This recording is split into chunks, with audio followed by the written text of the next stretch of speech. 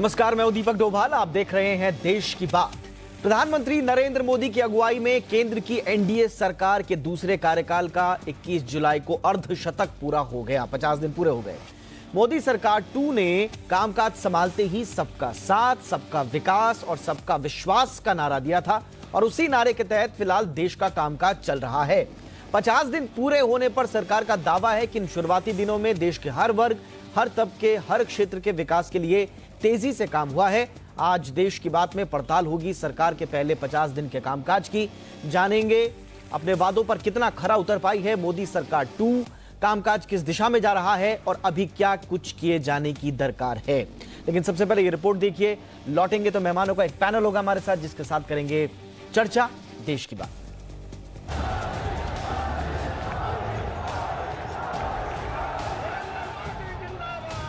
मैं नरेंद्र दामोदर दास मोदी।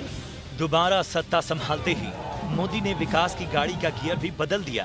पहले दिन से ही भारत ने विकास की वो रफ्तार पकड़ी, जो उसे फाइव ट्रिलियन इकोनॉमी की ओर तेज़ी से ले जा रही है।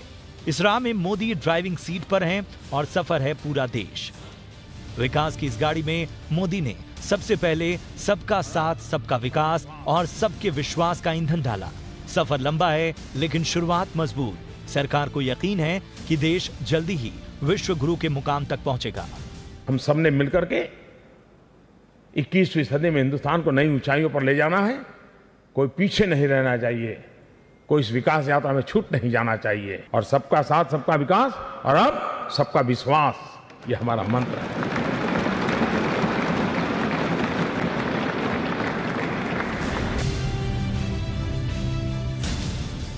मोदी सरकार के पहले 50 दिनों का विश्लेषण करें तो उनमें चुनौतियों से निपटने के लिए स्पष्ट विजन के साथ ही मज़बूत एक्शन भी नज़र आते हैं। कामकाज संभालते ही भ्रष्ट अधिकारियों को जबरन रिटायरमेंट देने का फैसला हो, या कैबिनेट की पहली बैठक में अल्पसंख्यक कल्याण और सुरक्षा बलों के परिवारों की चिंता। कश्मीर पर काम संभालते ही एक्शन मोड में फैसले लेने हो, या अलगाववादियों को अलग थलग करने की शाहनीति। बजट में किसान कल्याण की बातें हों या गरीबी दूर करने के कदम। सरकार का दावा है कि हर मोर्चे पर मोदी सरकार की झोली में कुछ न कुछ उपलब्धि जुड़ी है। मोदी सरकार के पहले 50 दिन का रिपोर्ट कार्ड रखते हुए केंद्रीय मंत्री प्रकाश जावड़ेकर ने कहा कि सरकार ने हर वर्ग के कल्याण के लिए फैसले लिए हैं। जो संकल्प पत्र भारतीय जनता पार्टी ने लाया था, उसका भी अमल का खाका तैयार हुआ है। और इसलिए स्पीड स्केल और स्किल ये तीनों का दर्शन इस 50 दिन में दिखा है। सरकार टू के पहले 50 दिन अभी मोदी सरकार के कामकाज का ट्रेलर है। अगले पाँच साल में चुनौतियाँ भी कई हैं। आर्थिक तरक्की के लिए विकास को दो अंकों में ले जाने की चुनौती हो या आतंकवाद से मुक्ति की। देश में रोज़गार के अवसर बढ़ाने की बात हो या बढ़ती आबादी के हिसाब से बेहतर शिक्षा और स्वास्थ्य की, या फिर 2022 तक किसानों की आय दुगनी और सबको घर देने जैसे लक्ष्यों को पूरा करने की ज़िम्मेदारी। काम अभी बाकी है। मोदी को पिछली बार के मुकाबले इस बार ज़्यादा बड़ा बहुमत मिला है। ज़ाहिर है, ऐसे में आकांक्षाएँ, जिम्मेदारियाँ बहुत ज़्यादा हैं। सवाल उठता है कि पहले 50 दिनों में क्या सरकार जनता की उम्मीदों पर खरी उतर पाई क्या सरकार सही दिशा में आगे बढ़ रही है। क्या कश्मीर मोर्चे पर शाह नीति से कोई स्थायी समाधान निकल पाएगा? क्या आर्थिक मोर्चे पर लोगों की चिंताएँ दूर होंगी? क्या रोज़गार बढ़ाने के उपाय काफ़ी हैं? इन्हीं सब मुद्दों पर होगी देश की बात।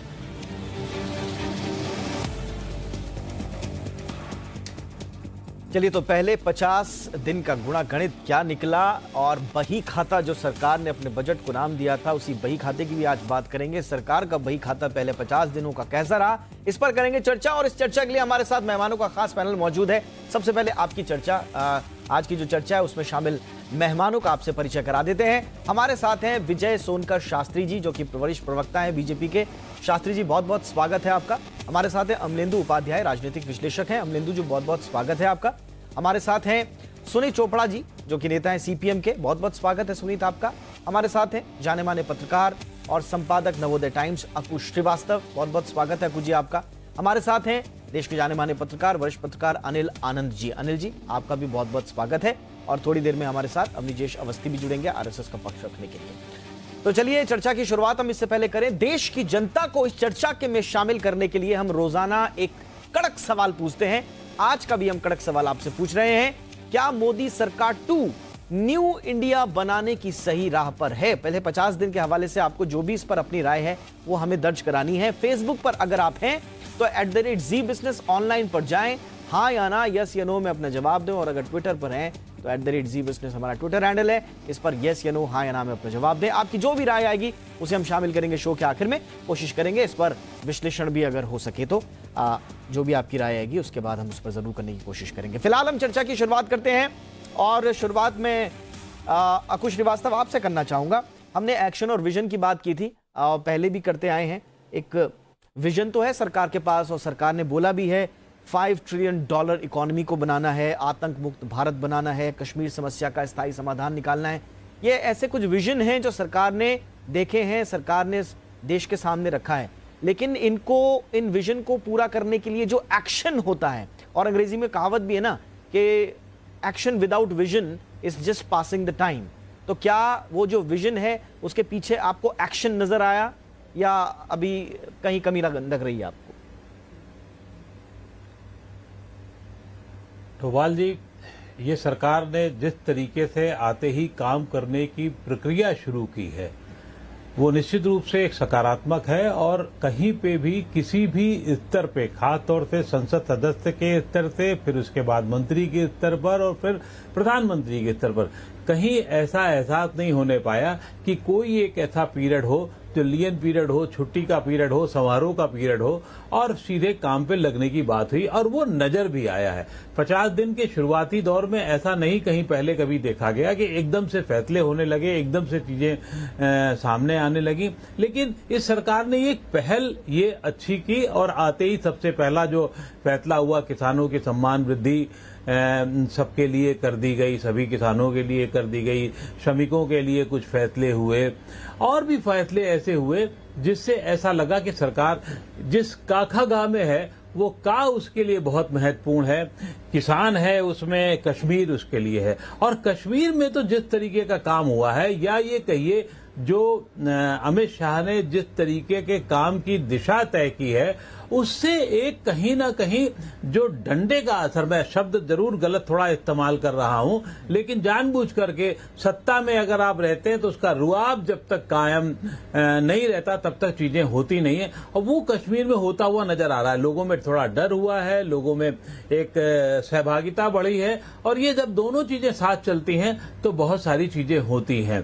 इसके अलावा भी अगर आप देखें इत्तेफाक से अंतर्राष्ट्रीय मोर्चे पर हमें सफलताएँ मिली हैं लगातार ऐसी सफलताएँ मिली और आज जो सफलता मिली है चंद्रयान के जाने की ये भी अपने आप में सरकार के हिस्से में जुड़ेगी चाहे वो एक सतत प्रक्रिया का हिस्सा हो लेकिन वो उसके हिस्से में मानी जाएगी। और एक चीज़ और भी हुई है वो ये है कि प्रधानमंत्री ने जिस तरीके से सभी मंत्रालयों को सभी मंत्रियों को सभी सांसदों को आ, काम करने के लिए जुट जाने के लिए कहा है और उस पर लगातार ये एहसास दिलाने की कोशिश की है कि उनकी निगरानी हो रही है। उससे चीज़ें रास्ते पे चल रही हैं। एक प्रोफेशनल हाँ, तरीके से सरकार को लड़ाई बहुत लंबी है। पाँच ट्रिलियन हम्म, ठीक है ठीक है सर मैं आऊँगा मैं आऊँगा सर आपके पास ट्रिलियन डॉलर का जो लक्ष्य है हाँ, ये आसान नहीं है। ये आसान नहीं होगा लेकिन पाँच ट्रिलियन डॉलर की तरफ़ जो रास्ता है बिल्कुल। जी जो जो रास्ता अख्तियार किया है क्या हम उसकी तरफ़ बढ़ रहे हैं? अनिल आनंद मैं आऊँगा को आपके पास। अनिल आनंद पाँच ट्रिलियन डॉलर की अर्थव्यवस्था का सपना जो देखा है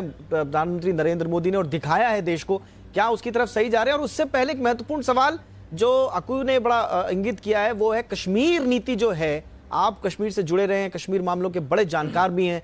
कश्मीर पर जिस तरह से सरकार का फोकस रहा है और जिस विजन के साथ आगे बढ़ रही है सरकार जो एक्शनलाइज कर रही है उस विजन को क्या आप उससे संतुष्ट हैं? सही दिशा में जा रही है सरकार?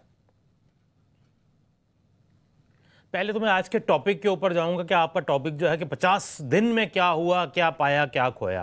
देखिए, एक भारत जैसे विशाल देश में 50 दिन का वक्फा कोई समय नहीं है कि जिसमें आप आंकलन कर सकें कि एक सरकार ने बहुत अच्छा कर दिया। हाँ अकू जी ने ठीक कहा, एक ब्लू आगे आया है।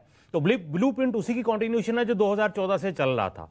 और दूसरी बात यह कि कश्मीर की बात मैं करूँ, उससे पहले एक और बात मैं कहूँगा कि ये मोदी जी और उनकी टीम इसमें बात में बहुत सक्षम है कि किस तरह से एक्टिवेट करके रखना है अपने अपने सब लोगों को गवर्नमेंट को पार्टी को, तंत्र को, किस तरह से माहौल बनाना है और उसको मुतवातर बनाए रखना है। तो वो उन्होंने चेष्टा डे वन से ही शुरू कर दी। एक माहौल बन जाता है तो माहौल का भी असर होता है। चाहे उपलब्धियाँ कम हो, लेकिन माहौल की वजह से जो है वो आपको पॉजिटिविटी मिलती है और लोगों में भी आपका चर्चा होता रहता है। इसमें वो बहुत निपुण है। जहाँ तक कश्मीर की बात आपने कही, कश्मीर में एक जो एक सोची समझी नीति इस सरकार की पहले भी रही है, एक एक एक स्ट्रांग आर्म टैक्टिक्स है उनकी। कुदरती बात है, वो होनी भी चाहिए। जो भारत की सॉवरेनिटी को चैलेंज करे, उसको टैकल वैसे ही किया जाना चाहिए, जवाब वैसा ही होना चाहिए। लेकिन अगर आप एक पूरा, एक दृश्य देखें तो अभी भी कंफ्यूजन है कश्मीर की पॉलिसी में। गवर्नमेंट क्या चाहती है, क्या करना चाहती है? कुछ, सुबह कुछ होता है, शाम कुछ होता है। अब कल ही की बात लीजिए आप। गवर्नर जैसे कॉन्स्टिट्यूशनल पद को संभाले हुए आदमी उन्होंने एक वानन वानन में टेररिस्ट को एक लीगल जामा पहना दिया। टेररिस्ट को कहा कि जो करप्ट है उनको मारिए। भाई आपके पास तंत्र है। तो मुझे समझ नहीं आई कि क्या नीति है ये। हम्म। आपने उन्हीं लोगों पे आक्षेप लगा दिया अटैक कर दिया करप्शन होगी। हर पॉलिटिकल पार्टी में होगी हर सरकार में होगी मैं नहीं कह रहा हूँ इस बात को। लेकिन ये कह देना एक कॉन्स्टिट्यूशनल ओहदे पे रहने वाला वो भी जम्मू कश्मीर जैसे सेंसिटिव स्टेट्स पे वहाँ पे प्रेसिडेंट रूल है इस वक्त वही मुख्यमंत्री है इस वक्त। उनका ये कहना कि टेररिस्ट उन लोगों को मारे हैं जो फैमिलीज़ है रूलिंग फैमिलीज़ रही हैं दो तीन पार्टीज़ की जिन्होंने सबका सब तबाही की है। तो मुझे लगता है एक किस्म से वो वहाँ के जो टेररिस्ट हैं उनका हौसला बढ़ाया है उन्होंने। उन्होंने उनको लेजिटिमेसी प्रदान कर दी है। ये वही पॉलिटिकल पार्टियाँ अच्छी हैं बुरी हैं। जिन्होंने अच्छे बुरे वक्त में पीक मिलिटेंसी में पॉलिटिकल प्रोसेस को सस्टेन किया हम्म। कुर्बानियाँ दी उन सबके वर्कर मरे तो कहीं ना कहीं कंफ्यूजन जो है ना ये मुझे अभी भी नज़र आ रहा है ठीक है विजय सोनकर शास्त्री से पूछ लेते हैं ये कंफ्यूजन आखिर क्यों है? क्योंकि कश्मीर पर थोड़ा सा बात कर लेते हैं ओवरऑल डेवलपमेंट पर भी हम बात करेंगे लेकिन कश्मीर कश्मीर का मसला क्योंकि छिड़ा है। और शुरुआत से ही सरकार ने यह जेस्टर दिया था कि कश्मीर उसकी प्राथमिकता में है और अमित शाह शायद पहले से गृह मंत्री हुए होंगे जिन्होंने इतनी प्राथमिकता के तौर पर इतने सारे ऐलान किए हैं आगे बढ़कर कश्मीर पे नाम पर। तो फिर ये जो कंफ्यूजन जिस कंफ्यूजन की बात अनिल आनंद कर रहे हैं, विजय सोनकर शास्त्री, ये कंफ्यूजन क्यों? क्लैरिटी क्यों नहीं? नहीं, देखिए, इस इस संदर्भ में गवर्नर साहब ने खुद ही स्पष्ट किया था। उन्होंने कहा था कि मैं गवर्नर की हैसियत से नहीं, बल्कि हम अपने व्यक्तिगत हैसियत से मैं ये बात कह रहा हूँ।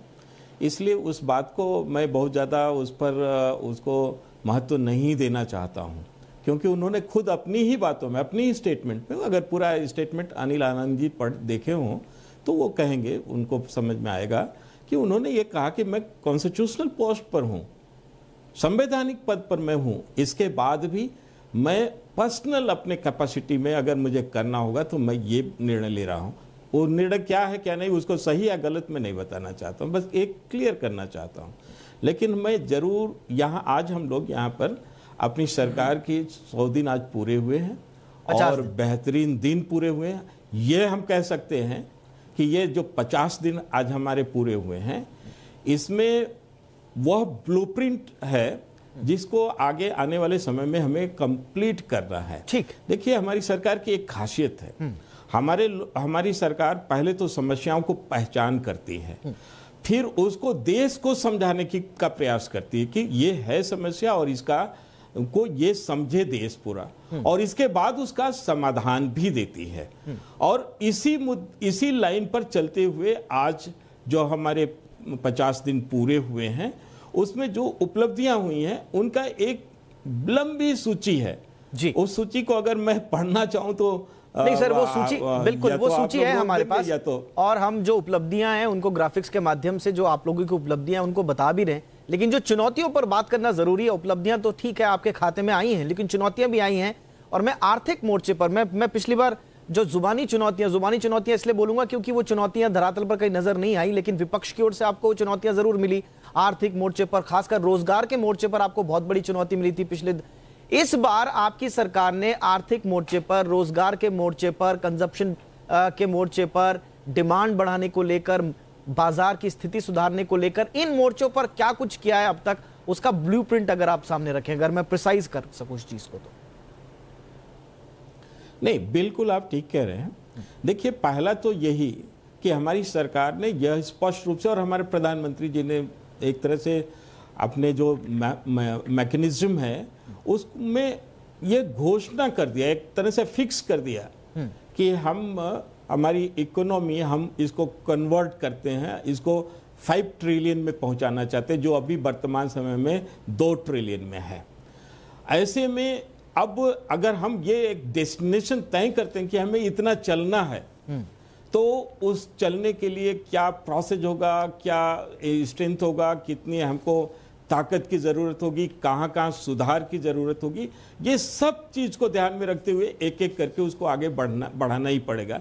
उदाहरण के लिए मैं इतना ज़रूर बताना चाहूँगा कि जैसे श्रम के श्रम सुधार के मामले में जो एक निर्णय लिया गया वो उसी दिशा में फाइव ट्रिलियन की दिशा में जैसे चौवालीस हमारे यहाँ एक तरह से श्रम कानून हुआ करते थे। जी। उनको मिनिमाइज करके उनको अ, अ, उनको तेरह में ला करके और फिर उस पर एक बिल पास किया गया है। जो एक तरह से देखा जाए तो ये श्रम के संदर्भ में जो तमाम कठिनाइयाँ हैं उनका समाधान होगा। बिल्कुल। और फाइव ट्रिलियन जो हमारी इकोनॉमी है उसको आगे बढ़ाने में ज़बरदस्त वो सहयोग करने में शास्त्री जी लेकिन पाँच ट्रिलियन तो पाँच ट्रिलियन डॉलर की इकोनॉमी बनने के लिए आपको थोड़ा सा मार्केट को भी संभालना पड़ेगा। बजट में आप लोगों ने सुपर रिच टैक्स लगाने का ऐलान किया। विदेशी निवेशक डरे हुए हैं तब से। मार्केट लगातार तीन दिन से गिरा हुआ है। जुलाई में अकेले जुलाई में 7,712 करोड़ रुपए निकाल लिए विदेशी निवेशकों ने और अब तक की एक रिपोर्ट में पढ़ रहा था 12 लाख करोड़ रुपए का नुकसान हो चुका निवेशकों को। और अगर मार्केट इस तरह से नेगेटिव रिएक्ट करेगा आपके फैसले पर तो फाइव ट्रिलियन डॉलर इकोनॉमी में थोड़ा सा आपको नहीं लगता कि एक बड़ा रोड़ा है? आपको इस मोर्चे पर ज़्यादा काम करना होगा? नहीं दीपक जी देखिए आप जो बातें कह रहे हैं ये एक तरह से मैं समझता हूँ कि इस प्रकार की चर्चाएँ होती हैं। लेकिन अगर आप पिछले हमारे पाँच वर्षों के कार्यकाल को देखें तो यूपीए गवर्नमेंट में हमारी इकोनॉमी की क्या स्थिति थी? हम हमारी इकोनॉमी का जो जीडीपी था हम चार साढ़े चार तक पहुँच चुके थे और इतना गिर गया था। लेकिन हमारी सरकार आई हम लोगों ने इसको संभाला और इसको सात साढ़े सात पौने आठ तक हम लोग आठ टच किया है। यहाँ तक पहुँचाया डबल किया। और वो और ऐसी स्थिति में जब सब कुछ चौपट था और इतना ही नहीं केवल हमारे ही देश की इकोनॉमी नहीं थी बल्कि विश्व की इकोनॉमी का भी कमोबेश वही हालत था। यानी कि रास्ता निकाला आप कह रहे हैं एक ओवरऑल जो ग्रोथ है उसमें एक अच्छी तस्वीर मोदी सरकार सामने लेकर आई है। ठीक है सर आऊँगा आपके पास। सुनी चोपड़ा बहुत देर से हाथ उठा रहे मैं पहले उन्हीं के पास जाऊँगा। सुनी चोपड़ा आप बताइए सरकार किसानों की बात कर रही है सरकार गरीबों की बात कर रही है सरकार वंचितों की बात कर रही है सरकार छोटे मझोले कारोबारियों की बात कर रही है और वो पहले पचास दिन में दिखा है। इसी इसी तरह की इकोनॉमी इसी तरह के राजतंत्र की आप लोग कल्पना करते रहे, वामपंथी दल, अगर उस पर सरकार अगर आगे बढ़ रही है तो फिर भी विरोध क्यों? किस बात का विरोध है, सर?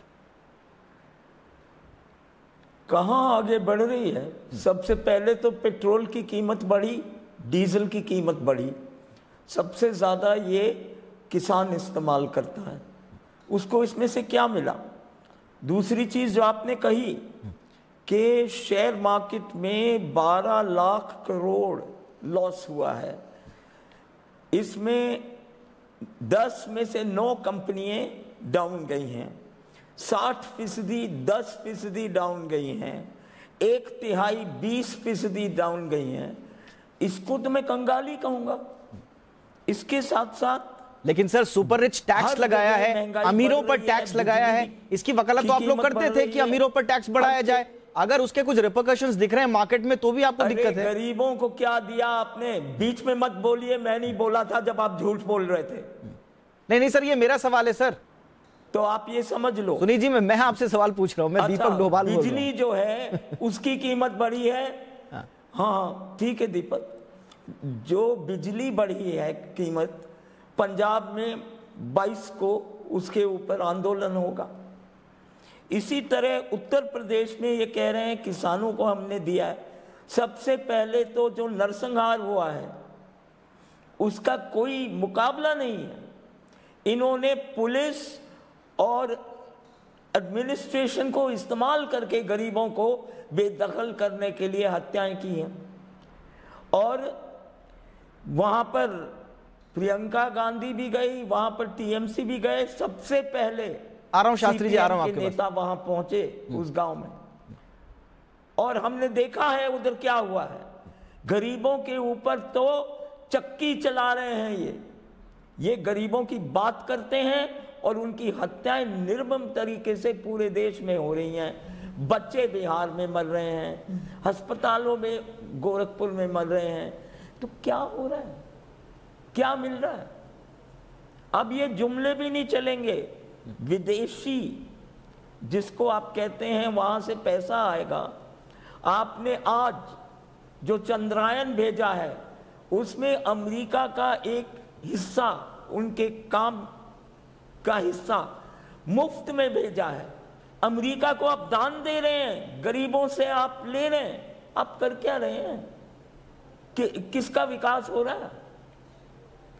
ठीक है शास्त्री जी आपको जवाब देना चाहेंगे? ये बार बार सुई जो है ये बार बार सुई जो है उत्तर प्रदेश में जो कानून व्यवस्था पर आजकल सवाल उठ रहे हैं उसको लेकर आ रही है मॉब लिंचिंग को लेकर जो सवाल उठ रहे हैं उस पर आपको लगातार विपक्ष घेर रहा है। इसका जवाब आप किस तरह से देंगे? और मैं अपनी अवनीजय अवस्थी के पास भी आऊँगा इसी सवाल के साथ लेकिन पहले शास्त्री जी का कमेंट ले लेते हैं। देखिए मॉब लिंचिंग तो एक तरह से देखा जाए ये तो दुर्भाग्यपूर्ण घटना है मैं इसकी निंदा करता हूँ। और हमारे प्रधानमंत्री जी ने अनेकों बार इसको गलत ठहराया उन्होंने यहाँ तक कहा कि इस तरह की उनकी घटनाओं को देश स्वीकार नहीं करता है। और जिस आधार पर इस तरह की घटनाएँ होती हैं उसको उन्होंने रिजेक्ट किया है बल्कि उसमें कड़ी कार्रवाई करने के लिए भी कहा। लेकिन इसलिए लिंचिंग की बात नहीं। लेकिन अगर लिंचिंग की बात होती है तो ये जो सो कॉल्ड लोग हैं जो सो सो कॉल्ड लोग हैं ये लोगों को मॉब लिंचिंग केवल उत्तर प्रदेश में तो दिखाई देता है। इन नहीं नहीं आप आप इस तरह से डायरेक्ट वो मत करिए वार सर। आप अपनी बात रखने के लिए दूसरे भी तरीके अपना सकते हैं। सुनिए ठीक है पहले बात सुन लीजिए। सुनिए पहले बात बोलने दीजिए। सुनिए पहले बात बोलने दीजिए। आप क्या कह रहे हैं? हाँ पहले बात बोलने दीजिए। पहले बात सुन लीजिए शास्त्री जी की अपनी बात रखने दीजिए। लगातार ठीक तो- ये तो ठीक। झूठ बोल रहे हैं। सुन लीजिए सुन लीजिए चुप। सुनीत हाँ ठीक है आप सही बोल रहे हैं देश देख रहा है। मैं इतना ज़रूर बोलना चाहता हूँ कि इनको मॉब लिंचिंग की अगर एक बात करते हैं तो केवल उत्तर प्रदेश में बात करेंगे अन्य अन्य जगहों पर करते हैं। हैं। ये केरल में और बंगाल के क्यों नहीं करते हैं? बंगाल में जिस तरह से 80 लोगों की हत्या की गई है मॉब लिंचिंग वो क्या नहीं है क्या? इनके लिए मॉब लिंचिंग के लिए गुड मॉब लिंचिंग और बैड मॉब लिंचिंग ये कौन सा पैमाना चोपड़ा साहब, पश्चिम बंगाल में जो political मैं mob निंदा lynching करता होती है, उस पर आप लोग कुछ क्यों नहीं कहते? जो इस तरह की दिल्ली से इस तरह की गलत फहमियाँ पैदा करते हैं। ये सेलेक्टिव लोग हैं। ऑल राइट अवनीजय अब अवस्थी आप जिस तरह से अवनीजय लगा रहे हैं इसका इस तरह की अवस्थी ये ये, ये बदतमीजी है। उत्तर प्रदेश- की बदतमीजी मत कीजिए। कहो हमें मालूम है ठीक है अवनीजय नाम- नाम अवस्थी दे दूँ कौन सा था गुंडा दिल्ली का? जिसने केजरीवाल को थप्पड़ मारा था उस तक को आप लेके गए थे बंगाल। क्या कह रहे हैं? चोपड़ा साहब पचास दिन के कामकाज पे बात कर रहे हैं। कानून व्यवस्था का प्रश्न आपने उठाया है उस पर हम जवाब ले रहे हैं। सुन लीजिए अवनीजय अवस्थी कह रहे हैं। अवनीजय अवस्थी आप बोलिए। ठीक है चोपड़ा साहब सुन लीजिए। मिस्टर चोपड़ा प्लीज़ सुन लीजिए। सुन लीजिए सुन लीजिए चोपड़ा। ठीक है है। अवनीजय अवस्थी पेट्रोल प्राइसेस बढ़ी हैं। All right all right sir point taken अवनीजय या जवाब आप ये बोल चुके बार बार बार बार बार बार क्यों बोल रहे हैं? आपको समझ में आ रही है कि नहीं बात? क्या आप अपनी बात दोहरा रहे हैं आप अपने आप को? कम से कम इस उम्र में मतलब मुझे लगता है कि आदमी भूल जाता है लेकिन इतना भी मत भूलिए कि आप दो मिनट पहले जो बोला उसी को बोले जा रहे हैं। पहली बात मैं दीपक जी बताऊँ। आज पहली बार मैंने सीपीएम के किसी व्यक्ति को शेयर मार्केट गिरने पर चिंतित होते हुए देखा पहली बार। और जहाँ तक झूठ बोलने का सवाल है ये सीपीएम है जिसने वो गलत फ़ोटो लगाई थी फिलिस्तीन की फ़ोटो लगा करके कहा कि ये देखो कश्मीर में मानवता मानव अधिकारों का हनन हो रहा है ये झूठ ऐसे ये झूठे ऐसे। एक बात दूसरी बात सबसे महत्वपूर्ण बात जो है आज बिज़नेस चैनल होने के बावजूद हमें क्या समझना चाहिए कि इस बार पार्लियामेंट में पिछले 20 सालों में सबसे ज़्यादा काम हुआ है। बिल्कुल। सबसे ज़्यादा काम हुआ है इस बार। 128 20 परसेंट प्रोडक्टिविटी बढ़ी है। बिल पेश हुए बिल पास हुए। एक बात दूसरी बात एक तरफ़ फाइव ट्रिलियन इकोनॉमी की बात हो रही है, दूसरी तरफ़ हर घर में पानी पीने का पानी उपलब्ध हो सके, इसकी बात भी है। ये जो वेलफेयर स्टेट प्लस एक स्ट्रांग इकोनॉमी ये जो एक भारतवर्ष या किसी भी बेहतरीन लोकतंत्र के लोकतांत्रिक देश में होना चाहिए, वो विजन सामने आया है। तीसरी बात मैं जो कश्मीर की नीति के बारे में कहूँ, मुझे नहीं लगता कि कश्मीर की नीति के बारे में कहीं किसी तरीके का, कोई किसी भी तरीके का कोई अब दुविधा है। जिन जो लोग अब तक जिन लोगों से बातचीत की की दुहाई दी जाती थी बाहर लोग जाकर के उनके दरवाजे खटखटाते थे और कहते जाओ चलो हमने बात नहीं करनी। आज वो लोग कह रहे हैं कि हमसे बात तो कर लो। ये है फ़र्क पचास दिन का। इस सरकार के पचास दिन का फ़र्क यह है कि आज वो इधर से उधर से दस तरीके से कह रहे हैं कि हमसे बात तो कर लो। अंतर्राष्ट्रीय स्तर पर जिस तरीके से ब्रिक्स में और अदरवाइज़ जी ट्वेंटी में पाकिस्तान के प्रति, पाकिस्तान के प्रति जो आइसोलेट किया गया उसको बहुत बहुत बहुत महत्वपूर्ण उपलब्धि है। अंतर्राष्ट्रीय न्यायालय में कुलभूषण के साथ हमने जो एक नैतिक विजय पाई है वहाँ पर, और पाकिस्तान को यह मानना पड़ा कि उसको कॉन्सुलेट देना पड़ेगा। यह अंतर्राष्ट्रीय स्तर पर भारत की प्रतिष्ठा जिस लेवल तक जिस स्तर तक जिस गति से बढ़ी है वो निश्चित रूप से और ये मैं ये नहीं कह रहा कि ये सिर्फ़ इन पचास दिनों की है ये पिछले पाँच सालों में लगातार जो नीतियाँ थी हम्म। उन नीतियों का प्रतिफल अभी आना और बाकी है ठीक है लेकिन लेकिन पहले पहले पचास पहले पचास दिनों में अपनी जय अवस्थी और मैं जब जो मेरा बुनियादी सवाल था जो बाकी विपक्षी दल भी जिन पचास दिनों में कोई अगर कोई मुद्दा बना पाए हैं तो वो मॉब लिंचिंग को और उत्तर प्रदेश की कानून व्यवस्था को बनाए बनाए गए उससे उत्तर प्रदेश में हमने एक कानून का एक सिफारिश देखी है जो विधि आयोग ने सिफारिश की है जिस कानून की एंटी मॉब लिंचिंग वाला। मैं मैं मैं, हाँ, मैं उस पे आ जाता हूँ हाँ, मैं उस पे हाँ, आ जाता हूँ। क्या क्या क्या हमें केंद्र के केंद्र की ओर से क्या कोई ऐसा बिल ऐसा कोई कदम ऐसा कोई कानून देखने को नहीं मिल सकता था इन पचास दिनों में?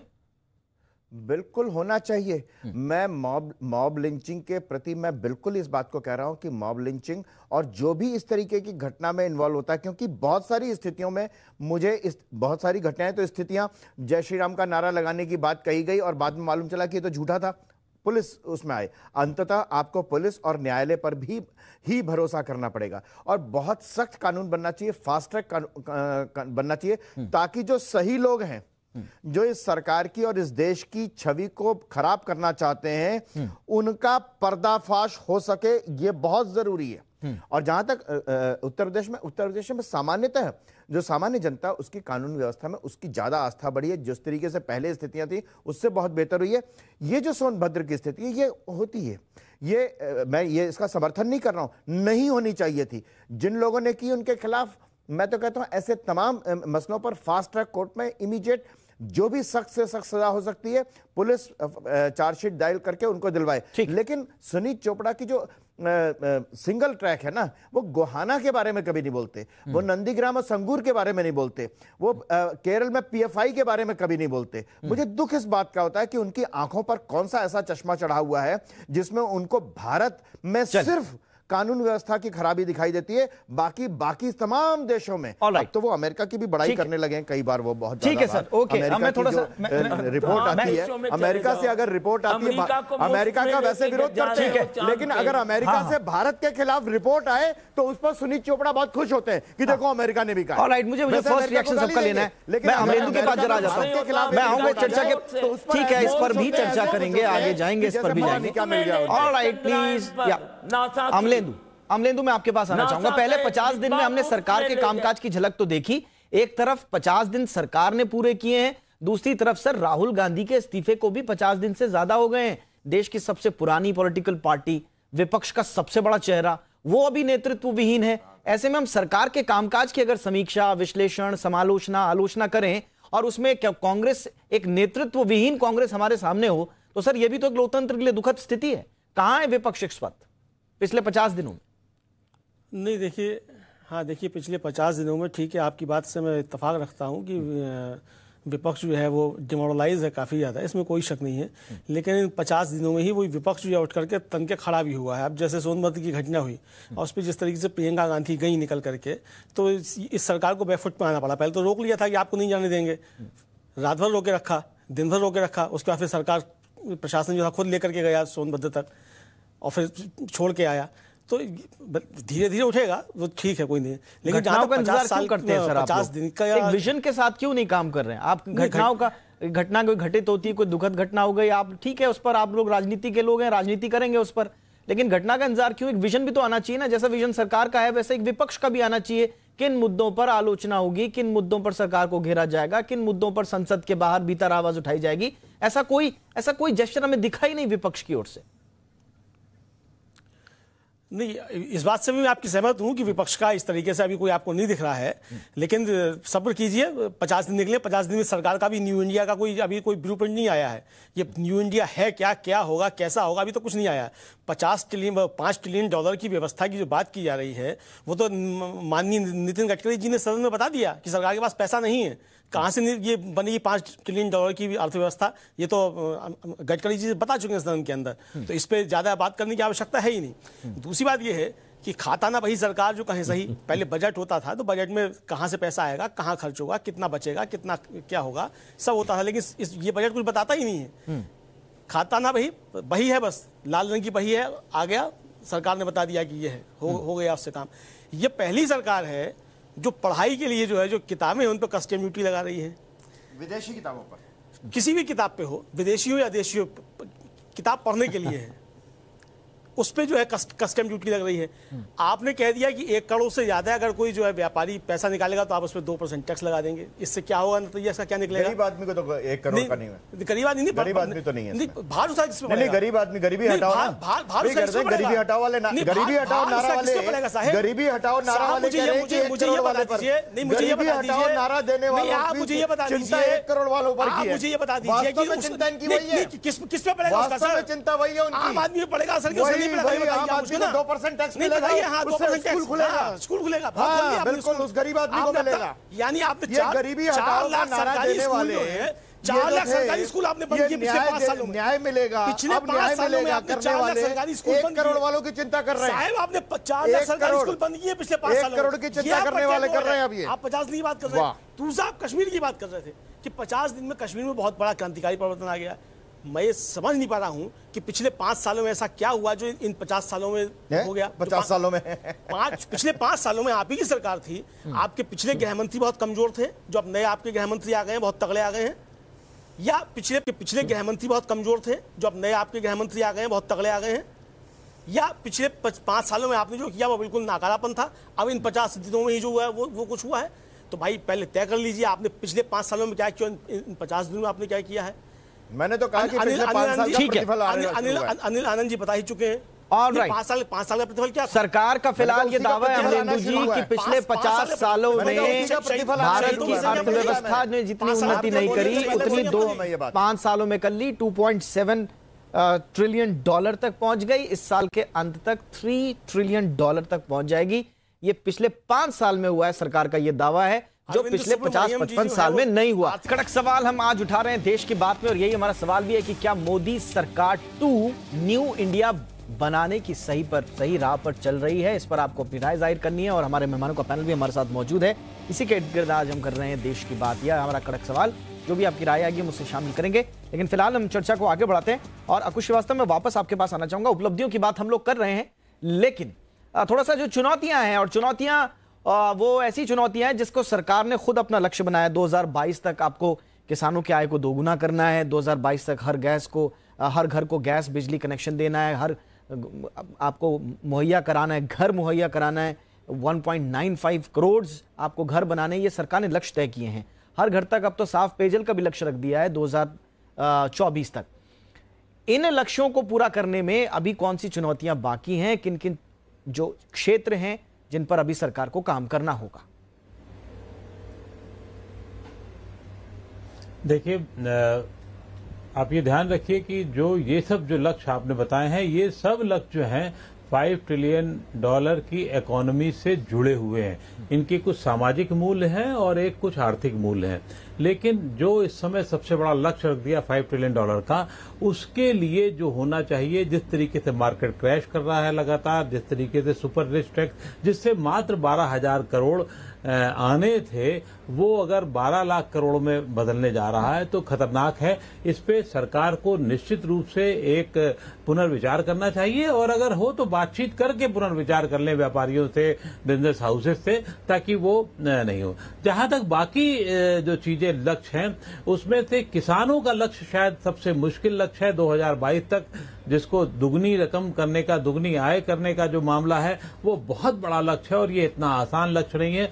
जब तक के लिए उसके पैदावार से लेकर के बिक्री तक का कोई सिस्टम, बहुत बड़ा सिस्टम तैयार नहीं होता हो देश में, तब तक बहुत मुश्किल काम है। इसका आधा भी अगर तैयार हो जाता है तो मैं समझूँगा सही रास्ते पर सरकार है, जो आसान काम नहीं है। जहाँ तक मकान बनाने की काम है या घर घर जल देने पहुँचाने का काम है, ये अपेक्षाकृत आसान है। लेकिन इससे बड़ी चीज़ है परसेप्शनल जो चेंज होने चाहिए, उस पर बहुत बड़ी निगाह रखनी होगी मोदी सरकार को। अगर परसेप्शनल चेंज में जो आपका नारा है, सबका साथ, सबका विकास और सबका विश्वास सबका विश्वास को अगर ठेस पहुँचती है तो सबसे बड़ी क्षति होगी देश को। तो ये एक बहुत बड़ी बात है और इसके लिए केंद्र सरकार को बाकायदा साध्वी निरंजनों से बचना होगा, प्रज्ञा ठाकुरों से बचना होगा, और जो ऐसे नेता हैं उनसे बचना होगा, ताकि वो कोई ऐसी बात ना कहने पाए जिससे सरकार की छवि नुकसान हो। और जहाँ कड़क कार्रवाई करनी है, आपके कड़क सवाल के जवाब में है, कड़क कार्रवाई करनी, वहाँ तत्काल की जाए। आखिर ऐसा क्या है कि शीला दीक्षित के निधन पर के दो घंटे के अंदर ही प्रधानमंत्री पहुँच जाते हैं उनके यहाँ संवेदना व्यक्त करने। इवन सोनिया गांधी भी देर से पहुँचती हैं। और हमारे मुख्यमंत्री जो हैं, वो वहाँ पहुँचने में टाइम लगा देते हैं, तीन दिन लगा देते हैं। ये अब आज की राजनीति में मेरे ख्याल से नरेंद्र मोदी राजनीति में भाजपा की राजनीति में उनके नेतृत्व में है वो ये बर्दाश्त नहीं किया जा सकता कि कहीं आप लैग करें जहाँ पर भी हो जैसे भी हो जितनी जल्दी रिएक्ट कर सकें यही काम अगर आ, उसी दिन कर दिया जाता कि उनको अच्छे से मान मतलब लोगों को सहानुभूति दे दी जाती। और उनको एक मानदेय या जो एक आपको पैसा दिया जाना है 18 लाख या जो भी और देना है वो उसी दिन दे देते तो प्रियंका गांधी का गुब्बारा बढ़ने ही नहीं पाता तो सरकार को बहुत सारे लेवल पे काम करना होगा और मैं बार बार इस चीज़ को चेता भी रहा हूँ कि निगरानी के लेवल पे काम नहीं हुआ तो बहुत मुश्किल होगी। आगाज़ तो अच्छा है। अंजामे बेहतरी की दुआ हम कर सकते हैं, जो मैं कर रहा हूँ ठीक है, अंजाम बेहतरी की दुआ आप कर रहे हैं और सरकार की भी मंशा यही है कि आगाज़ तो ठीक हुआ है, लेकिन अंजाम तक ये मामला पहुँचे। अनिल आनंद, आप किस तरह से रेट करेंगे? और फ़िलहाल जिन चुनौतियों की हम बात कर रहे हैं, उन चुनौतियों में आपकी फहरिस्त में कौन सी ऐसी चुनौतियाँ जिन पर अभी सरकार को काम करना होगा? चाहे वो फाइव ट्रिलियन डॉलर इकोनॉमी के मोर्चे पर हो, आतंकवाद मुक्त की भारत हो और शांति स्थापित करने की बात हो एक सौहार्दपूर्ण माहौल में अगर काम करने की बात हो तो कौन सी ऐसी चीज़ें हैं जिन पर अभी सरकार को काम करना होगा अगले पाँच साल? देखिए, सबसे बड़ा चैलेंज सरकार के पास है। चाहे सरकार डिनाइल मोड में रहे, ये उनकी मंशा है, ये उनकी चाहत है। वो है economic scenario. Economic scenario is not looking up. और इसका एक उदाहरण हमारे सबके सामने है। कि जिस दिन बजट आया और बजट की तारीफ़ तो हुई, लेकिन उसी दिन से ना शेयर मार्केट दिख रहा है ऊपर, ना निफ्टी दिख रही है, ना बाकी दिख रहा है, ना ये दिख रहा है। जब तक इकोनॉमिक सिचुएशन पे सुधार नहीं होगा, सरकार अपनी गलतियाँ माननी चाहिए। सरकारें वो भी अच्छी होती हैं जो काम तो करती हैं, काम ये भी सरकार कर रही है। सरकारें वो ज़्यादा अच्छी होती हैं जो कोर्स करेक्शन भी करें, जो अपनी गलतियाँ भी माने पब्लिकली ये कह देना कि जो हमने कह दिया, वो वो वो परमात्मा की मोहर हो गई, वो वो प्रवचन हो गया वचन हो वो गलत होता है। तो कोर्स करेक्शन करना पड़ेगा तभी आप किसान की आय दुगनी कर पाएँगे। अगर इकोनॉमी नहीं उठी तो आप रोज़गार कहाँ से देंगे जो आपने इतना बड़ा वादा किया है? तो मुझे लगता है कि इस आने वाले वक्त में इकोनॉमी को संभालना संवारना उसको बढ़ाना ये सबसे बड़ा चैलेंज होगा। उसके लिए जैसे कि अ, गादरे गोदरे साहब ने कहा जो बहुत बड़े कप्तान हैं इंडस्ट्री के वो तो उन्होंने तो पब्लिकली परसों अपने एक भाषण में कह दिया उसके लिए आप इस जो जो सोशल लेवल पे जो सिनेरियो इमर्ज एक हो रहा है ये बातें हो रही हैं आपको इनका संभालना पड़ेगा। अगर सोशल सिस्टम सोसाइटी ठीक नहीं रही तो कोई पैसा नहीं लगाएगा। तो ये बहुत बड़े चैलेंजेस होंगे सरकार के सामने। मुझे लगता है सरकार को गंभीरता से इसको लेना चाहिए। और नारे गढ़ने से अब आगे चलना चाहिए उन नारों का इम्प्लीमेंटेशन भी हो और- रियलिस्टिक टर्म्स में हो ये बहुत ज़रूरी है। ठीक है। और बाकी सरकारें काम करती है काम हुए हैं उनके क्रेडिट भी मिला है मिलना भी चाहिए उनका हक होता है हर सरकार का। उसमें कोई दो राय है नहीं। ठीक। लेकिन कहीं ना कहीं कहीं जो लूज एंड्स हैं उनको पहचानना बहुत ज़रूरी होगा। अन्यथा हवा में बातें करने में पाँच साल और निकल जाएँगे शास्त्री जी। हुआ है उसको सुदृढ़ करें फाउंडेशन को और मज़बूत करें और रियलिस्टिक टर्म्स में बात करें। ठीक है। शास्त्री जी, हमने डे वन से देखा प्रधानमंत्री नरेंद्र मोदी ने किस तरह से स्ट्रांगली सामने आकर कुछ चीज़ों को डिसाइड किया कि वो किस तरह से काम करेंगे, उन्होंने ताकीद किया अपने तमाम मंत्रालयों को प्रोफेशनलिज्म की उन्होंने बार बार बात की, और अभी तो इस मानसून सत्र में हमने देखा कि प्रधानमंत्री नरेंद्र मोदी बहुत नाराज़ थे, जो मंत्री, जो सांसद एबसेंट रहते हैं, कामकाज नहीं ढंग से दिखा पा रहे हैं, उनके खिलाफ वो सख्त दिखे। एक तरफ़ प्रधानमंत्री नरेंद्र मोदी की पर्सनालिटी है, जो प्रोफेशनलिज्म पे विश्वास करती है, दूसरी तरफ़ आपने देखा कि दो वरिष्ठ पत्रकार जो हैं, कुछ चिंताएँ भी ज़ाहिर कर रहे हैं। कैसे सामंजस्य बैठाएगी सरकार नहीं, देखिए, दोनों पत्रकार जो चिंता व्यक्त कर रहे हैं, मैं मानता हूँ कि वो इस देश के नागरिक हैं, आदर्श नागरिक हैं, और उनको चिंता करनी चाहिए। लेकिन मैं उनको ये आश्वस्त करना चाहता हूँ कि पहले ही दिन से जो हमारे प्रधानमंत्री जी ने और मिलकर के सारे मंत्रियों ने जो एक डिटर्मिनेशन दिखलाया वह इस बात के लिए सिद्ध करता है कि आने वाले समय में जो कुछ भी होगा, जो लक्ष्य रखा गया है, उसको पूरा किया ही जाएगा। देखिए, ये मोदी जी के बारे में अब पूरा देश नहीं, दुनिया में भी ये अब एक तरह से जाना जाता है कि मोदी है तो मुमकिन है। मोदी जी पर भरोसा किया है देश ने। आज़ादी के बाद अगर मोदी जी पर अगर भरोसा कर किया गया है तो यह याद लाल बहादुर शास्त्री का दिखलाता है। जब लाल बहादुर शास्त्री जी ने कहा था कि हमें एक वक्त का खाना छोड़ देना चाहिए इससे बहुत सारे लोगों के और भी पेट भर सकते हैं तो देश ने छोटे छोटे बच्चों ने ये निर्णय लिया था और सोमवार को खाना छोड़ दिया था। ऐसा ये हुआ था। मोदी जी ने भी इसी तरह का विश्वास पैदा किया। उन्होंने कहा और करोड़ों लोगों ने अपनी सब्सिडी इत्यादि को छोड़ा। मोदी जी ने जो कहा अभी तक उसको निभाया उसको पूर्ण किया है। और आगे भी अगर उन्होंने फाइव ट्रिलियन का जो तय कर दिया है तो वो भी होगा। अभी जैसे किसानों के बारे में जो बहुत सारे प्रश्न आए सबका उत्तर मुझे नहीं लगता कि आप देने का अवसर देंगे। लेकिन एक आख मुद्दे पर मैं ज़रूर बोलना चाहूँगा हम्म, बोलिए। कि किसानों के बारे में जो बात किया गया ये सबसे सेंसिटिव बात तो कही गई कि वो उन ये, ये 2022 तक उनके आय को दुगना कैसे किया जाएगा? देखिए पहले ही दिन 24 सूत्री कार्यक्रम तय कर लिए गए। और इतना ही नहीं उन 24 सूत्री कामों पर का, सूत्री जो एक मैप था उस पर काम भी प्रारंभ कर दिया गया। और इतना ही नहीं दस हज़ार किसानों को का एक ऑर्गेनाइजेशन बना करके जी। एक तरह से उसको एक पी एफ़ पी ओ का एक ऑर्गेनाइजेशन का रूप दे करके उसके माध्यम से काम कैसे शुरू किया जाए ये भी करना शुरू कर दिया है। और अगर पिछले पाँच सालों को अगर आप देखेंगे हम्म। तो उन पाँच सालों में सरकार ने किसानों के केवल उनके हेल्थ की बात नहीं किया हम्म। बल्कि उनके सॉयल जो भूमि है उसके भी हेल्थ के बारे में काम किया है। और भूमि सुधार पर काम किया है। इस तरह से जो जो सरकार ने पिछले पाँच वर्षों से काम किया और आने वाले 2022 का जो डेस्टिनेशन तय किया कि हमको किसानों को डबल आयु तक पहुंचाना है हम्म, हम्म। तो वो क्षेत्र में ऐसा नहीं कि चुपचाप बैठी सरकार है बल्कि एक एक कदम फूक फूक करके और आप कह रहे हैं कि हर क्षेत्र में धीरे धीरे काम हो रहा है। सुनी चोपड़ा कुछ कहना चाह रहे थे पूरा किया जाएगा। ठीक है सुनी चोपड़ा कुछ कहना चाह रहे हैं। इसलिए इसलिए एक एक चीज़ को मैं एक सेकंड और मान लूँगा। अच्छा अच्छा बोलिए एक एक चीज़ को बड़े ध्यान से तैयार किया गया है और उसमें कोई कमी नहीं छोड़ी गई है। हाँ एक मुद्दे पर और मैं चर्चा करूँगा। आपने भी दीपक जी ने बोला। ओके okay, आपसे संपर्क नहीं हो पा रहा। शास्त्री जी मैं लौटूँगा आपके पास। थोड़ा सा कनेक्शन का प्रॉब्लम है नेटवर्क का। सुनील हाँ। चोपड़ा इस बीच आपको जो रिस्पॉन्ड करना चाह रहे थे। मेरा ये कहना है कि एक चीज़ होती है जुमले उठा देना। एक चीज़ होती है काम करना। मैं भी उन लोगों में था जब उन्होंने कहा कि आप गैस के अपने जो आ, आपका उसमें सब्सिडी सब्सिडी है उसको वापस कर दी जी गरीबों के लिए। और मैंने कर दी। लेकिन देखा क्या?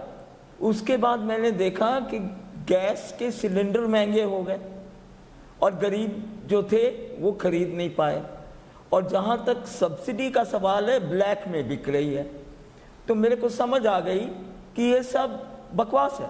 गलत बात है। और इनके लिए बिल्कुल ये गलत बात बोल रहे हैं। बात सुन गैस कहीं भी ब्लैक में नहीं मिल रहा है। नहीं नहीं। अगर ये ये ज़बरदस्ती सरकार के ऊपर थोपना चाहते तो थोप। रहा है। लेकिन ये बात गलत है गलत आरोप लगा नहीं, रहे हैं आप मत कि गैस ब्लैक में मिलती है। कहाँ गैस ब्लैक में मिलती है? कितने लोगों ने इतना कर दी? ऐसे झूठ मत बोलिए। आप पता है, आप, आप राजनीतिक सेक्टर के महत्वपूर्ण व्यक्ति हैं। पता है हमको बताइए कि कितनी किस जगह गैस बिक रही है? महिलाओं ने उज्जवल आप योजना एक जगह का उदाहरण दीजिए आपको मैं चुनौती देता हूँ। आप बताइए कि कहाँ पर गैस ब्लैक में बिक रहा है? आप बताइए कि कहाँ गैस ब्लैक में बिक रहा है? एक जगह का नाम बताइए। मैं बता रहा हूँ पूरे क्या बात करते हैं आप? पूरे गुड़गांव में तो घर घर गैस पहुँचाया जा रहा है। दिल्ली में भी ऐसा ही होगा। गैस तो आज इस सरकार में प्रत्येक घर में पहुँचाया जा रहा है। आप झूठ हंड्रेड परसेंट होम डिलीवरी हो रही है। सरे आम झूठ बोल रहे हैं। नहीं आप तो आप बहुत सही बोल रहे हैं। आपकी सच्चाई को मैं प्रणाम करता हूँ। आप जैसे गरीब सच्चे आदमी को हिंदुस्तान में शायद जगह नहीं है। आप बहुत सही बोल रहे हैं चोपड़ा जी, सिलेंडर से आगे बढ़िए। ठीक है और कम्युनिस्ट लोग सच्चे बोलते हैं है तो अच्छी उसी बात से है। पता चल जाता है कि आपके मोदी राज में क्या हो रहा है। पता चल जाता है आपके मोदी राज में क्या है। ठीक है मैं इसीलिए तो लोगों ने विश्वास खो दीपक जी मैं एक बात मैं बोल नहीं पाया था मैं उसको जोड़ना चाहता हाँ, हूँ स्पष्ट करना चाहता हूँ। मैं ए, वो छूट गया था। कि जो सोनभद्र के बारे में बात कही जा रही है सब लोगों द्वारा मैं उसमें बतलाना चाहता हूँ। मैं मेरे घर से जो जहाँ घटना स्थल है वो मात्र सत्तर किलोमीटर दूर है। मैं वाराणसी का रहने वाला हूँ। मैं जानता हूँ वहाँ पर जिस समय एक घटना हुई है घटना के पाँच से सात मिनट के अंदर वहाँ पुलिस पहुँची है। और तत्काल सारे भी आरोपियों को अरेस्ट किया जाता है कंपेंसेशन दिया जाता है उनकी प्रॉपर ट्रीटमेंट की व्यवस्था की जाती है। घायलों को अलग से उनकी व्यवस्था की जाती है। मृतकों को अलग से उनके परिवार पर संवेदना दिया जाता है। और इसके बाद भी अगर ये कहा जाता है कि वहाँ की प्रशासन काम नहीं कर रहा था पुलिस प्रशासन और तमाम बातें सर अगर पुलिस प्रशासन तो ये- ये पुलिस प्रशासन स्थानीय प्रशासन की अगर तो गलती नहीं थी शास्त्री जी तो फिर वहाँ पर वहाँ पर जो पुलिस अधिकारी हैं उनको क्यों निलंबित किया गया? जो प्रशासनिक अधिकारी हैं उनको क्यों निलंबित किया गया? गलती तो उन लोगों की थी ना उन लोगों ने इन्फॉर्मेशन गैदर नहीं की इंटेलिजेंस का की दिक्कत थी। बीट हवलदार ने अपना काम ढंग से नहीं किया एसएचओ ने अपना काम ढंग से नहीं किया पुलिस अधिकारियों ने अपना काम ढंग से नहीं किया। सर इतना बड़ा हादसा हुआ है उस पर आप इस तरह से बच के तो नहीं जा सकती है सरकार इस पर सवाल तो नहीं मैं मैं मैं हादसा के बाद की बात कर रहा हूँ। हम्म। उसके पहले के इंटेलिजेंस रिपोर्ट या इस सब पर मैं बात नहीं कह रहा हूँ। और ज़मीन विवाद था। इसलिए मैं कह रहा हूँ कि वहाँ पर जिस तरह से लोग जा रहे हैं जिस तरह से पॉलिटिकल पर्यटन करना चाहते हैं अगर उसको जायज़ माना जाता है तो देश में जायज़ माना जाए।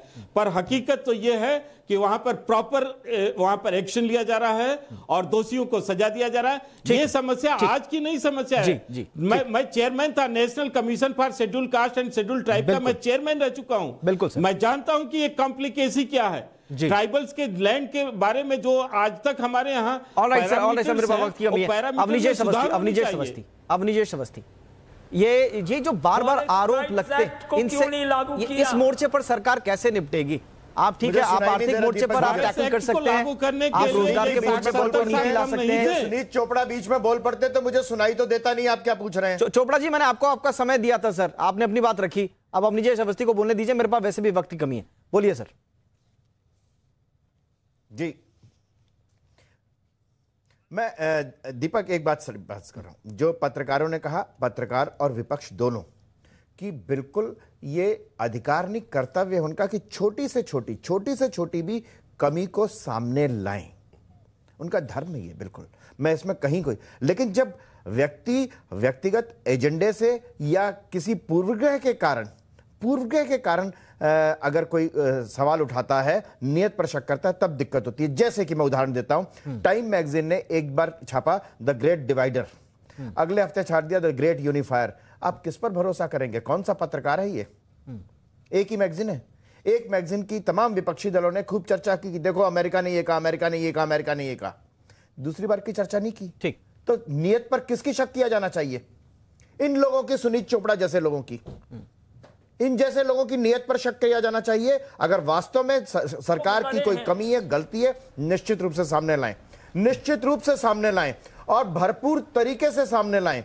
सड़क पर लेके आए संसद में लेके आए। लेकिन लेकिन जब आप खुद जब आप खुद गलत फ़ोटो वही गलत फ़ोटो जो पाकिस्तान यूएन में देता है पाकिस्तान यूएन में देता है कश्मीरी मानवता मानवाधिकारों के हनन की और वही आप देते हैं अपने पोस्टर में तो मुझे शक होता है कि आपके तार कहाँ से जुड़े हुए और ये हमने नहीं दी थी ये आपके एलाई ने दी थी। ये हमने नहीं दी थी आपके कश्मीर में एलाई जो एलाई उन्होंने दी देखा मिल गया मिल गया मिल गया आपको ना? मिल हाँ। गया। Okay okay okay okay okay Amlendu Amlendu आपका क्लोजिंग रिमार्क सर अमलेंदु आपका क्लोजिंग रिमार्क हाँ ठीक है सर मेरे पास वक्त की कमी अमलेंदु। ले रहे थे ना। अमलेंदु जी को सुन लीजिए वो बड़ी शालीनता से सबकी बात सुन रहे हैं वास्तव अमलेंदु में तो अमलेंदु। दीपक जी एक बात साफ़ हो गई। हाँ। कह रहे हैं आपके एलाई ने हमारे एलाई से फ़ोटो ये ले रहे थे। झूठ मत बोलिए। दीपक इस जी, पर इस- चीज- एक चीज़ इस- इस इस पर करेंगे सर इस पर। इस मुद्दे पर भी कभी बहस करेंगे फ़िलहाल आज हम पचास दिन की बात कर रहे हैं। सरकार की चुनौतियों की बात कर रहे हैं ठीक है? अमलेंदु जी अमलेंदु जी एक मज़बूत विपक्ष कब देखने को मिलेगा हमें? देखिए दीपक जी बात यह है कि बार बार जो है 2022 तक किसानों की आय दुगनी करने की बात की जा रही है। लेकिन बजट हमारा खामोश है किसानों के मसले पे। कुछ नहीं बोलता बजट हमारा। कैसे दुगनी होगी ये पता नहीं। सरकार के ही जो आंकड़े हैं वो बताते हैं कि किसानों की आय की बढ़ोतरी जो है वो पिछले पाँच सालों में 0.44 परसेंट रही है। यानी एक प्रतिशत से भी कम, आधा प्रतिशत से भी कम रही है। आप कैसे दुगनी कर लेंगे? पता नहीं। दूसरी बड़ी समस्या इस सरकार की यह है कि सरकार के पास कोई अर्थशास्त्री नहीं है पूरे मंत्रिमंडल में। जो अर्थशास्त्री है भी, हार्वर्ड के उनको आपने बाहर बैठाया हुआ है। हालाँकि ये प्रधानमंत्री का विशेषाधिकार है कि वो किसको वित्त मंत्री बनाए, किसको नहीं बनाए। लेकिन अगर सरकार के अंदर अर्थशास्त्री ही नहीं होगा तो कैसे अर्थशास्त्र चलेगा और कैसे पाँच ट्रिलियन डॉलर की अर्थव्यवस्था बनेगी, मेरी समझ से परे। ठीक है, सर। ओके, इसी नोट पर हम कड़क सवाल का जवाब ले लेते हैं फटाफट से। हमने आज अपनी देश की जनता से पूछा था, क्या मोदी सरकार टू न्यू इंडिया बनाने की सही राह पर है? आपका जवाब आ चुका है। देख लेते हैं कितने लोग क्या रहे हैं। 59 परसेंट लोग कह रहे हैं कि सही राह पर है। इकतालीस फ़ीसदी लोगों को अभी शक है कि नहीं सही राह पर। यानी कि ज़्यादातर जो व्यूअर्स हैं, वो ये मानते हैं कि सही राह पर है मोदी सरकार। हालाँकि जो इकतालीस फ़ीसदी लोगों की जो राय है, उसको भी गंभीरता से सरकार को लेना होगा। अब डायलॉग ऑफ़ द डे और मैन ऑफ़ द मैच का वक्त है। फटाफट देख लेते हैं किसके बाद कश्मीर में एक, जो एक सोची समझी नीति इस सरकार की पहले भी रही है, एक एक एक स्ट्रांग आर्म टैक्टिक्स है उनकी। कुदरती बात है, वो होनी भी चाहिए।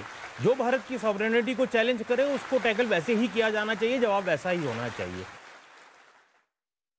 इस सरकार ने एक पहल ये अच्छी की और आते ही सबसे पहला जो फैसला हुआ, किसानों की सम्मान वृद्धि सबके लिए कर दी गई। और भी फैसले ऐसे हुए जिससे ऐसा लगा कि सरकार जिस काखा गाँव में है वो का उसके लिए बहुत महत्वपूर्ण है, किसान है उसमें, कश्मीर उसके लिए है।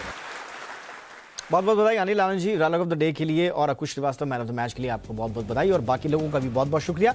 विजय सोनकर शास्त्री, जुड़ने के लिए बहुत बहुत शुक्रिया। अमलेंदु जी, बहुत बहुत शुक्रिया। डॉक्टर अवनीजेश अवस्थी बहुत बहुत शुक्रिया। Sunil Chopra thank you very much Akush Srivastava, Anil Anand, आप दोनों का भी बहुत बहुत शुक्रिया। ये थी आज देश की बात की बहस। एक और अंक के साथ दोबारा आपके सामने हाजिर होंगे। तब तक के लिए इजाज़त दीजिए, नमस्कार।